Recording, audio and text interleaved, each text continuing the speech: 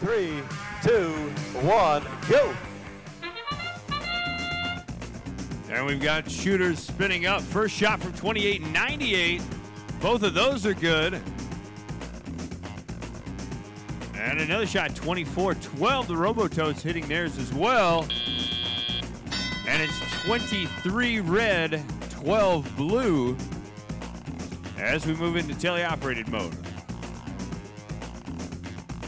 And there's 1983 Skunkworks looking for control of some of those basketballs and a second scoring opportunity. 28-98, the Flying Hedgehogs gathering up some basketballs on top of the Blue Alliance Bridge. And 1983, three basketballs on board. Moving into position as the Robototes head over to the other side of the field, and the Flying Hedgehogs hitting a couple of threes.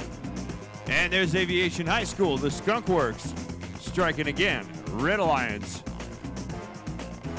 still with the lead here, 28-98, moving into scoring position again, lining up at the top of the key. 1983 still looking for basketballs. Flying Hedgehogs putting up three points. Still lots of time left here. Very high scoring autonomous period. And the Skunks lining up to shoot their alliance partner 1778. Chill out.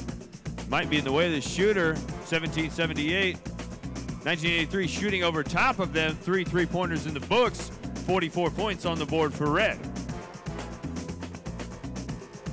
Flying Hedgehogs having a little bit of trouble climbing up that Blue Alliance bridge.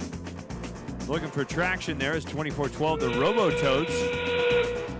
Making way towards the Red Alliance Bridge. 1983 the Skunks.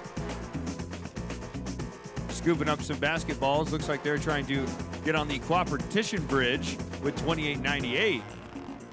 And the Flying Hedgehogs lower it down. 13 seconds on the clock. Red Alliance robot. The Robototes are up and balanced, and the Cooperation balance is in place.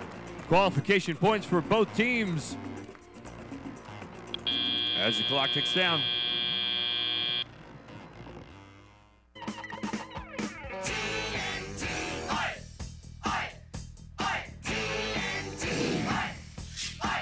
And your final score Blue Alliance 21, Red Alliance taking the win with 54 points.